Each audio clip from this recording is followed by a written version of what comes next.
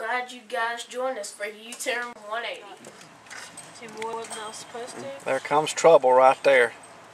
Who is? Caleb Dunbar in the flesh. What do you think about that? Man, his future's so bright. He started coming to YouTurn180, and look how look how cool he is now.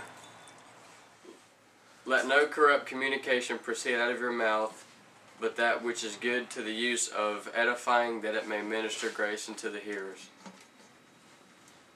Where's that located at, Caleb? Ephesians 4:29. Awesome. Okay, here we are. I'm Pastor Mike Stroud with YouTurn180, and I'm here with Adrian and Jalen. And uh, today, guys, we're talking about the words of our mouth, you know, and how people treat one another and gossip and stuff like that. How's that affecting you guys in school? What the kids doing in school right now?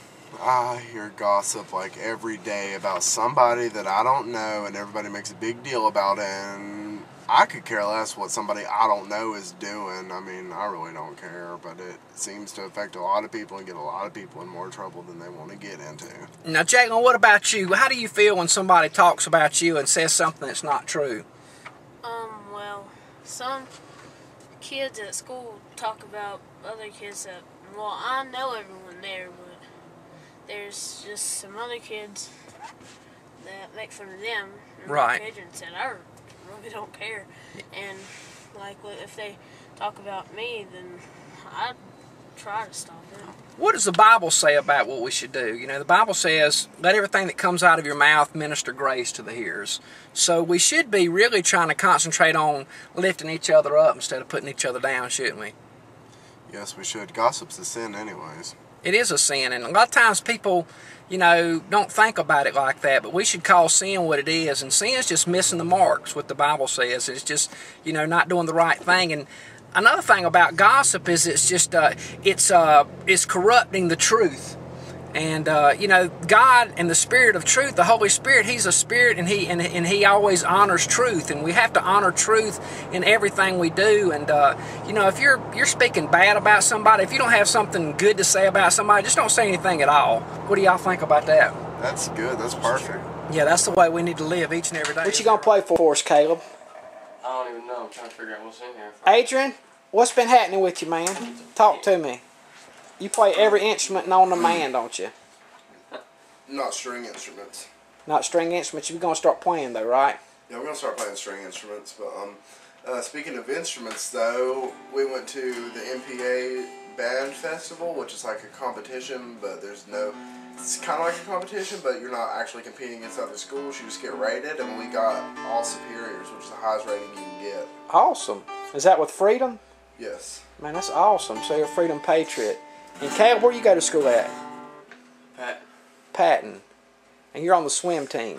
no, track team. I thought you swam also though. I did that. That's over with though. Okay.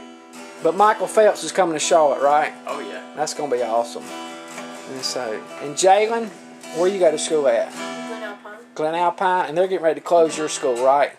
Yeah. what do you think about that? It's gonna be fun.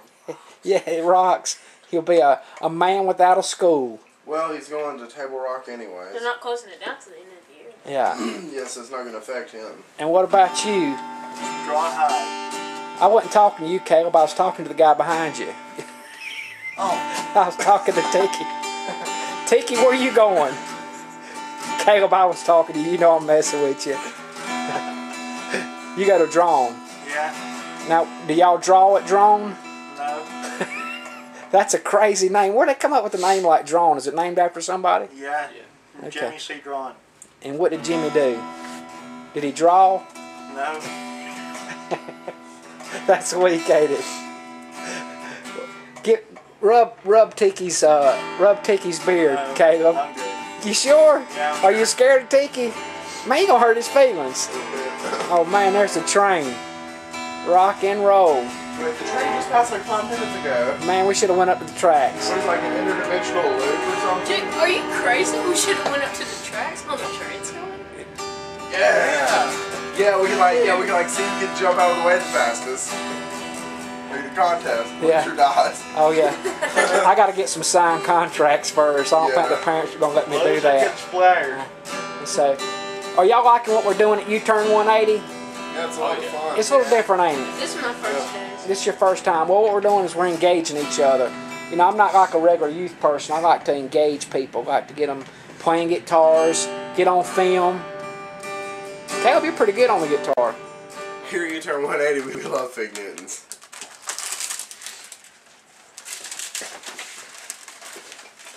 You're real mature.